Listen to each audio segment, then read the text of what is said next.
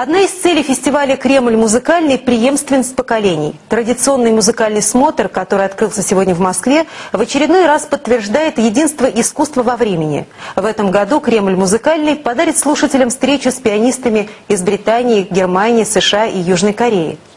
По традиции выступит перед зрителями и прославленный дуэт Николая Петрова и Александра Гиндина. Музыканты представят новую программу, подготовленную году Франции – году России во Франции и Франции в России. Первый концерт в оружейной палате Кремля сегодня, в день траура, начался с минуты молчания по погибшим в авиакатастрофе под Смоленском. Мы объявляем минуту молчания.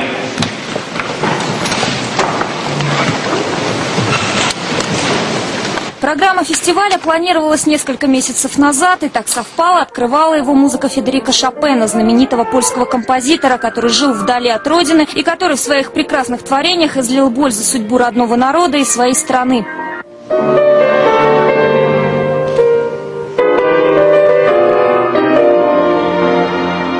Сопровождении струнного оркестра «Российская камерата» под управлением Андрея Кружкова играла пианистка из Германии Анна Маликова, лауреат многих международных фортепианных конкурсов. Из них четыре победы она одержала на конкурсах имени Шопена в Варшаве, Осло, Сиднее и Мюнхене.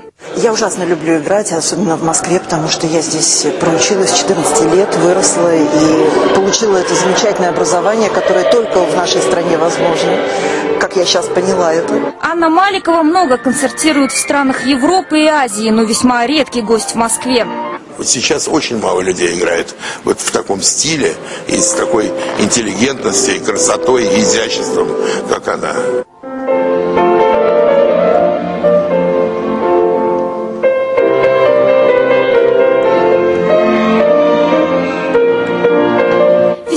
Кремль музыкальный проходит в одиннадцатый раз. На вопрос, чем он отличается от предыдущих, Николай Петров ответил – ничем. Ничем это значит, что по-прежнему здесь все решает вкус и опыт самого Николая Петрова.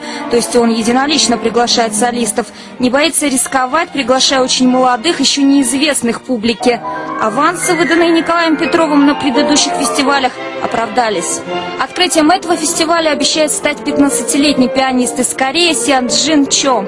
Он, на мой взгляд, безгранично, безмерно одарен. Причем не только совершенно уникальным э, аппаратом, но какой-то